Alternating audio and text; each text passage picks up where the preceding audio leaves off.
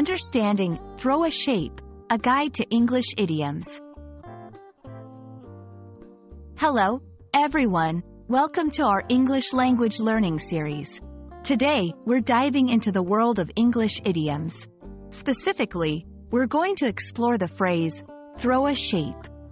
This idiom might sound a bit puzzling at first, but don't worry, we'll break it down together. Let's get started. Throw a shape is an idiom that's not commonly heard in everyday conversation, but it has a very interesting meaning.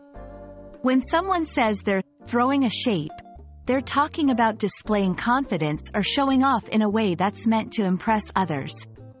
It often involves a physical display, like a confident posture or a striking pose. The exact origin of throw a shape is a bit unclear, but it's believed to have come from dance culture. In dance, throwing a shape means to strike a pose or move in a way that's eye-catching. Over time, this phrase evolved to mean any form of showing off or trying to impress others, not just in dance but in general life.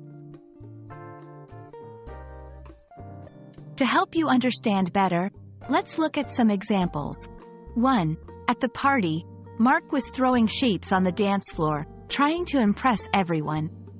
2. She walked into the meeting ready to throw a shape, confidently presenting her ideas. Notice how in these examples, throw a shape is used to describe someone who's trying to stand out or display confidence.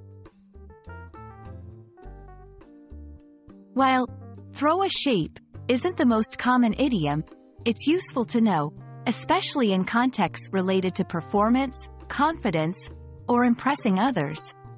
Remember, idioms like this add flavor to your language and can make your English sound more natural. That's all for today's lesson on the idiom, throw a shape.